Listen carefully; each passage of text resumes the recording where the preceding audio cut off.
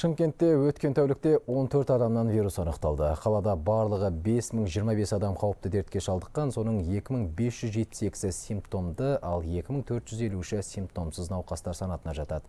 Бұл туралы денсаулық сақтау басқармасы басшысының міндетін атқарушы Тимирхан Вардилов мәлімдеді. Қазір қалада эпидемиологиялық ахуал тұрақты, дегенмен ауруға атүсті қарап, бет-берде тақпай жүрсек індет қайта өшуі мүмкін дейді қала әкімінің бірінші орынбасары шыңғыс мұқан. Брифингте қаланың бас санитар дәрігері кәсіпкерлік нысан иелерін санитарлық нормаларды қатаң сақтауға шақырды.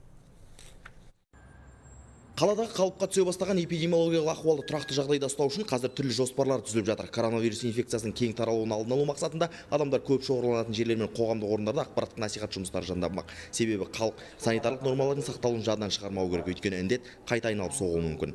Немқұрайдылықпен қарайтын болсақ егер осы карантин біте салып бәріміз той садақаға барып иә еш нәрсе болмағандай мына масканы шешіп тастап бүйтіп жүретін болсақ үшінші толқын болады. көрген жерінде талап етіп масканы тақ деп біз не үшін айтамыз? Жанашырлықпен айтамыз. Қатаң карантин шаралары аяқталғанымен кәсіпкерлік нысан иелері талапқа сай жұмыс істемесе шара қолданылады. Ол үшін арнайы мониторинг топ жұмылдырылған. Шымшаһарда сауда орындары мен базарлардың тіпті қоғамдық көліктердің жұмыс уақыты ұзартылғанмен санитарлық талаптар тиісті деңгейде сақталмай отыр. Көп нысандар өзінің ешқандай санитарлық індетке қарсы шараларын қолданып жатқан жоқ. Түрлі дәрі дәрмектерге жаңағы мониторинг жүргізу барысында біздер анықтаған кемшіліктер бойынша қазіргі таңға сексен тұлғаға түрлі деңгейдегі мынау служба экономического расследования дейді. Жаңағы сол кісілердің хаттамасы бар мына жергілікті полицияның хаттамалары бар. Сол сол хаттамалармен біздер тікелей ол кісілерге айыппұл бағытында жасап жатырмыз. Өткен тәулікте он төрт адам вирус жұқтырса қырық үш науқас дертінен сауыққан. Жалпы қалада